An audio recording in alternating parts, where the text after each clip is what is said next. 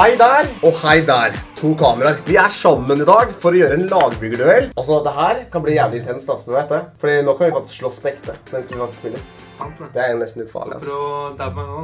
Jeg skal dabbe deg faktisk in real life, bror. Ja, du kommer inn og tar Ja, ja, det er det jeg skal gjøre, bror. Vil du ha mer content med den mannen her også, så legger du igjen en like, abonnerer og følg Arka på Instagram. for Han er veldig gira på å følge på Instagram. Og så er det veldig greit med det, er at da får du mer eh, lagbyggerhjelp, så kjør.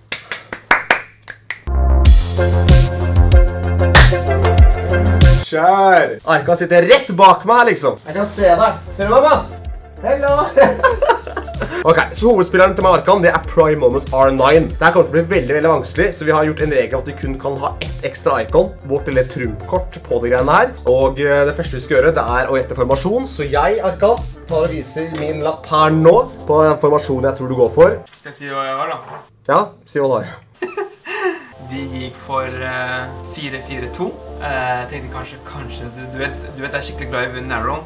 Jeg tenkte kanskje han eh, at, Hæ? Ja, ja, jeg har skrevet opp Narrow, jeg, så fuck you. Å ja, for du prater Ok. Ja, du mindfucker meg. Ja, men det ærlig, da. 4-4-2, let's go. Greit. Flekk opp din lapp, så skal jeg ta og vise hva jeg går for. Da har jeg tatt den opp. Jeg vet ikke om kameraet ser det, men her. Ok, hva har du valgt? Jeg har gått eh, selv Fuck, jeg vet ikke, jeg har ikke helt bestemt meg faktisk. Jeg skal ta 4 trippel 2 eh, eller 4-2-3-1. Uh, vet du hva? Jeg går faktisk for Char! En 4-4-2. Ja, det er det, men altså, det er veldig gøy, for 4-3-3 versjon 4 var en, en formasjon jeg brukte på 19, faktisk. Så god, god shout, god shout. Greit, da er det en liten break, så tar vi og gjetter hvem hverandre spisser er. BRB. Ok, er du klar? Yep. Greit. Uh, hvem var det som startet? Du som startet, eller jeg som startet? Du starter. Jeg har fall kommet med mitt spissforslag på hvem jeg tror du går for. Her er min shout. Det er veldig vanskelig for deg å vite hvilken det blir, men vi tenkte ok, jeg tenkte Aguero først. Jeg tenkte nei, kanskje vi tar sånn. Kanskje ikke jeg husker at vi har en sånn. Så vi tenkte vi går for sånn, for vi husker alle selv hvordan han var i FIFA 19. Helt brutal. Syns du sånn var god? Vent, da, vent, vent. Jeg kan faktisk reise meg opp nå. Vent. Syns du sånn var god? Sånn var jo god. Så, sånn var ikke god, bror. What? Jo, han var helt ekstrem på FIFA her. FIFA 19. Nei, Brutter, han var ikke god. Han var ikke god. Jeg, jeg merker det en gang, ass. Det kom til å havne i slåsskamp. Jeg er jævlig sikker på det. Ikke la meg komme bort dit. Kom, da! Arko! Hva har du da valgt, da? Jeg, jeg skrev Zlatan, bror. Ibrahimovic. Ja, jeg hadde, jeg hadde faktisk kortet der, tror jeg. Har du kortet? Jeg tror jeg Alle, hadde alle hadde, alle hadde kortet her, bror. Nå er min tur. Ja. Ok, så jeg tenkte, siden jeg ikke får sånn... Ikke si det, bror! Du må ikke si hvem du tror. Du skal legge frem lappen din. Oi, oi, Jeg sto mellom to spillere. De er på raden min her nå. Og det er enten Tots Mbappe, men jeg tror du har skrevet opp han. Så jeg går for noe helt motsatt, nemlig en spiller som alltid har vært god på Fifa. Nemlig Ben Yedder. Ikke noe special card, vanlig gull. Så Ben Yedder er spist jeg går for. Nei, det er helt umulig. Jeg tok sånn, jeg. Tok du sånn? Jeg tok sånn, tenkte jeg. Jeg var cheeky sikkert med sånn. Tenkte jeg kanskje han har det selv også. Eh, men ja, det var ikke sånn i hvert fall. Greit, da går vi videre til vingene. BRB. Greit, runde to. LM-en og RM-en skal bli gjettet. Jeg går rett på sak, Arkan. Det her er dem jeg tror du går for. Det som er problemet her, er at jeg husker ikke om det kortet der, eller den spilleren der, er LM eller RM. Men jeg satser på det. Lykke til. Jeg kan starte med HM. Jeg valgte på en spiller som er på hvem det er engang, egentlig. Så jeg satt der ikke du vet. Eh, skal jeg si navnet hans? Ja, ja. Ja, um, Perez fra La Liga. 77-rater. Jeg vet ikke hvorfor jeg går fra han engang. Hvorfor har du tatt han? Jeg, jeg vet ikke, altså. Jeg kunne bare Ledger vært en bra spiller og fått, også blitt tatt for det. Altså, du hadde valgt riktig. Og du hadde sikkert hatt en bronsespiller som var sikkert bena. Det var han, så jeg vet at vi ikke har han i det hele tatt. Jeg vet ikke hvorfor jeg tok han, men ok. Og venstre mitt, da tok jeg en uh, riktig Campbell. Uh, da gikk jeg for uh, favorittspilleren din. Uh, La Croqueta-mannen. Uh, Hazard. Hvor er min bror Hazard? Han tok en tredje. Han kommer ut nå. Jeg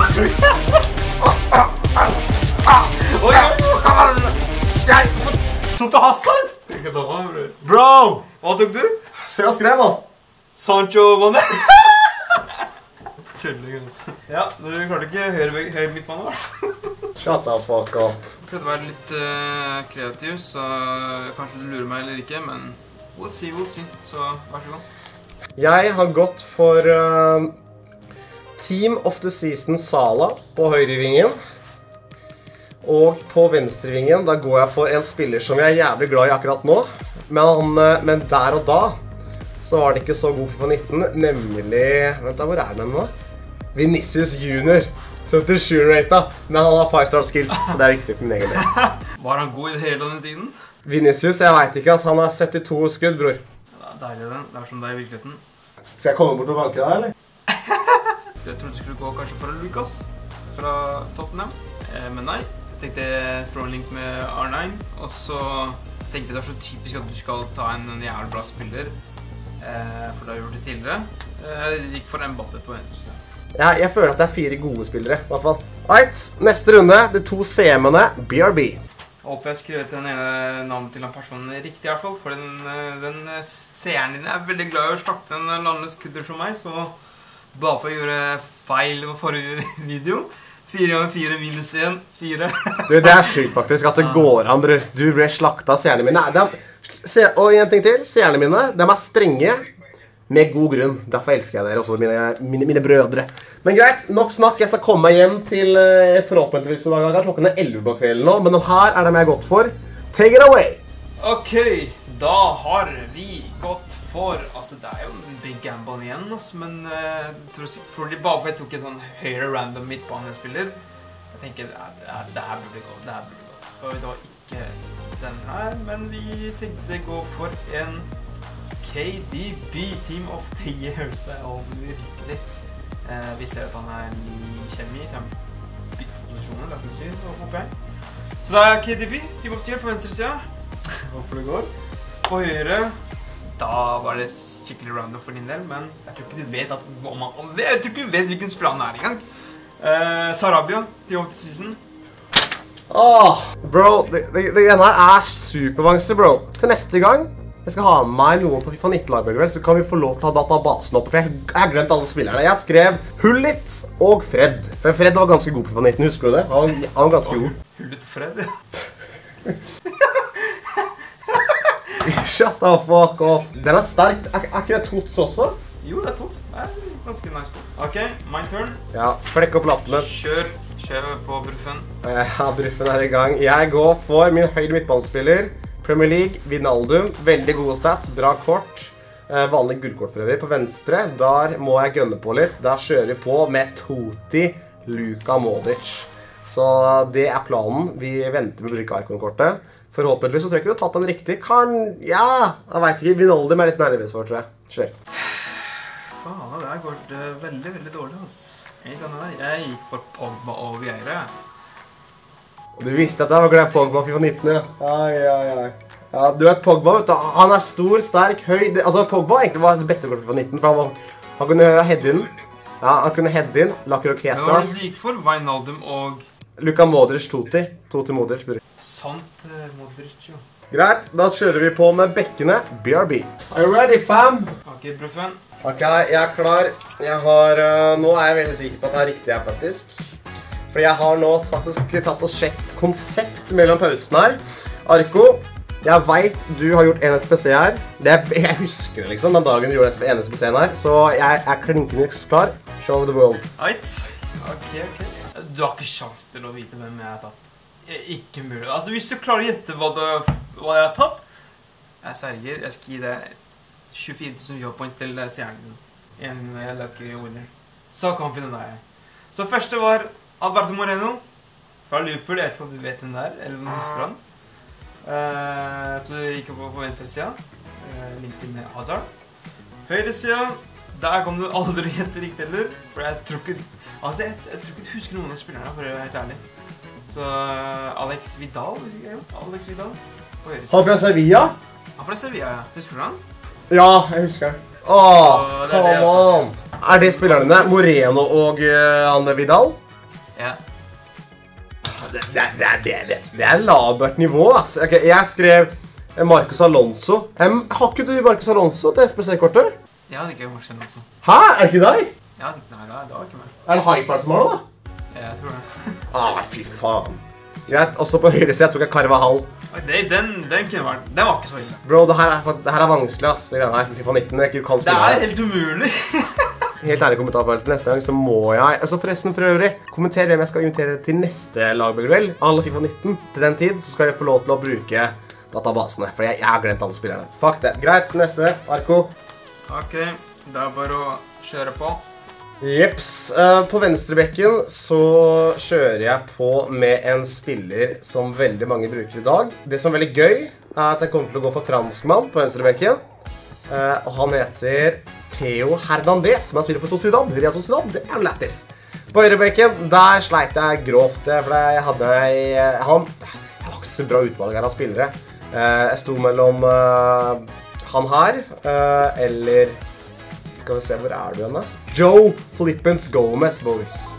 Jeg tenkte også på Wambisaka Tots, eh, for han har jeg, men jeg, jeg droppet det.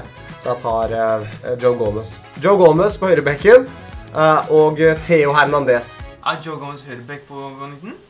Ja. Hæ? Ja. Husker du ikke det Fifa 20 når Joe Gomez ble midtstopper og han ble jævla god? Ja, ja. Ja, brutter'n. Jeg gikk for Mendy på venstresida. Tenkte link med Vinicius. Vent da, Hve- Hvem enn Følger han Bro, han spiller i Lyon! er du dum, eller? Åh, faen, Du husker bro, det kortet, mann? Det blå Tots-kortet. Det, var- det var det beste kortet. Det VB-kortet til Ferland Mendy. Det er ikke Real Madrid, det. Åh, incoming i kommentarene, altså, helvete, altså. Mann, det er FIFA 19, bare tre år siden. Jeg husker ikke sånt. Ærlig, ingen, ingen av oss kom til å få treff, ass. Ingen av oss. Vent, Hvem tok du på høyrebekken?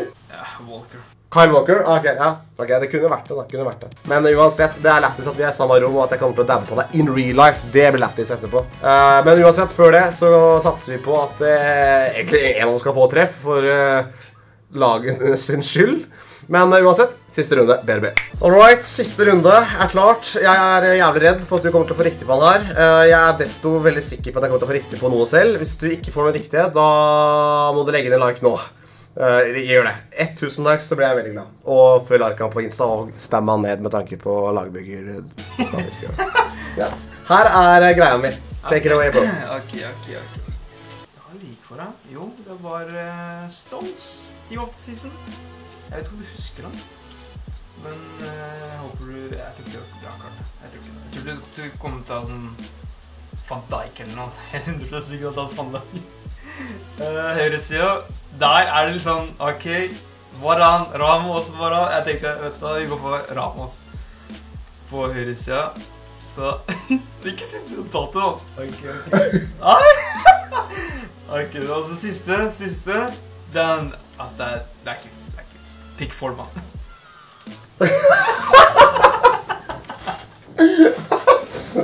Hva er det her for noe? Pick four, bro! Klarer du å se gjennom her hva jeg har skrevet for noe? Van Dijk og Bar... Nei! Akkurat har calla på det. Det er sikkert Van Dijk, og så er det sånn Varan Ramos, Varan Ramos. For du har alltid skutt av Varan, Varan min. Eh, så tenkte jeg ok, vi, må ta Ramos, ass. Jeg tror ikke du Jeg skjønner ikke hvorfor ikke det har gått for det, ass. Men bro, hvordan kan du ta Varan? Det, det funker ikke med kjemien engang. Jævla Her gjør det ikke. jævla esel, ass. Har Sarabia og Hva kalte du meg, eller? Kom! Eh, Jeg regner med at du tok feil på uh, keeperen, eller?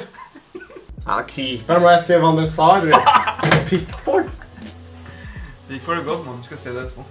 Nei, vet du, jeg, jeg, jeg gir opp det greiene. Altså, Fifa 19-lag bygger det vel. Det er den dummeste delen jeg noen gang har gjort i hele mitt liv. Nei, Ja, kjør det, på. det, det, det, det, er, he- det er så latterlig. Greit. eh, i- neste. Ta opp lappen din. Skal jeg uh, På venstre sida, starte der. Der kan jeg ta selv. Mellom Varan Ramos. Hvis du får riktig på deg, så kommer jeg til å klikke. Jeg uh, går for Hva Ramos. jeg går for Ramos på venstre utstopperen. Uh, på høyre. Så ja, jeg tror jeg skjøter meg leggen. Jeg kommer til å gå for Van Dijk. Hvis ikke du skal gjøre Van Dijk her nå, så er du dum. Uh, på keeper, der, den tror jeg ikke du har riktig. Um, det går for Caylor Navas, faktisk. Uh, det er min favorittkeeper på Fifa 7-2. Uh, Fifa 19, vi får se. Jeg har troa. Så det her er mitt lag. Det her, det her går ikke an. Altså, jeg tenkte Grunnen til at jeg tar sånn Sånn sykespillere Basically jeg har tatt på nesten alle spillerne er fordi jeg vil i hvert fall treffe på en av dem. Så jeg tenkte ok, kanskje jeg tar en dårlig, og så tar den en dårlig Jeg vet ikke. Men faen, du fikk både van og Ramos. Jeg skrev Varan og Stones og Timothy Season Stones og Loris. Fy faen. Jeg tenker vi bomma på disse greiene. Å, herre. Har du skrevet opp Stones? skrev Stones, mann. Jeg tenkte kanskje du prøver å lure Hvorfor har du skrevet opp Stones, bro? Hva mener du Stones? Skrev du opp Stones? Tror tror du at jeg brukte John Stones? Ja, jeg lurte deg bra der. Men fy faen. Jeg trodde når du sa Var Varamos Din jævla rasshøl. ass. Du er et rasshøl, bror. Så vi feiler. Greit. Det her er vanskelig, altså. hva? Vet du hva? Vet du hva? Skal vi ta den siste duellen mot Arkan her? Jeg eh, sliter faktisk. Jeg har tapt de to siste kampene. En på straffespark. Utrolig ufortjent. Siste, den tapte jeg fortjent. Jeg skal ta Eh, det her kan bli stygt. Arkan sitter ti meter rett bak meg. Den siste finalen. Hvem var Norges beste FIFA 19-spiller? Det får vi svare Ah, på nå. finalen! Jeg har to ganger. og Du kan ikke bare plutselig Hvis du vinner mot meg nå, så er du liksom den beste spilleren. Kom! Kom! Ok. Opptaket på. Tre, to, én. Ok, skal vi se på feil. Bro, du har mye bedre lag med, ass. Det er ikke, mann. Jo da. Ok, Breffen. Ja, lykke Tenk til. lenge nå, så Lykke til, fucker. Lykke til. Ja. Fucker. Kom, da. Kom. da. Jeg stopper hver gang, da. Wijnaldum. Ben Yedder. Modric. Buildings. Let's fly! Kom! Kom!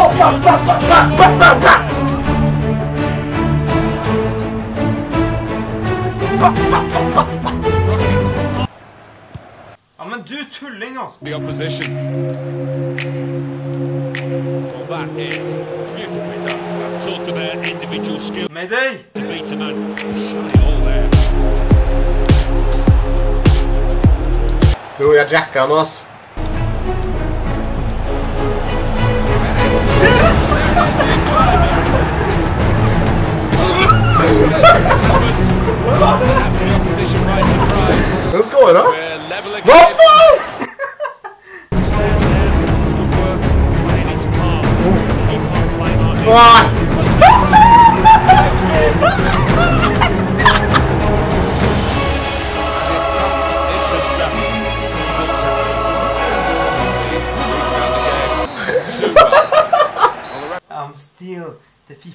19 king, yeah. The Notorious Arco. And a still champ. FIFA 19 champ. And still champ. Nei, er én omgang til, og jeg har prøvd å spille fotball. Du driver bare og skyter. Nei!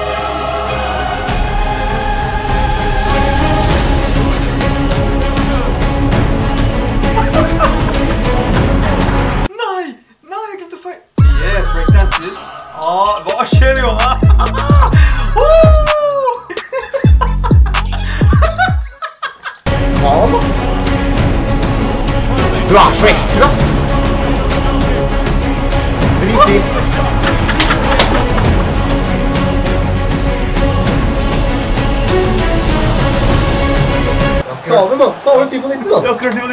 Sett deg ned, Ben mann. Yedder. Two more minutes to play. Gets his foot in there. Huge score. Er og forblir den nest beste FIFA 19-spilleren. Han har best fortsatt. Greit. Legg en like for mer sånn her innhold. For mer kødd. For mer Arko. Let's fly! Lættis, ass, å gjøre det. Det blir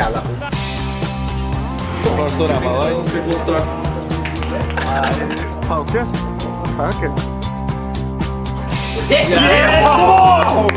Focus. Focus.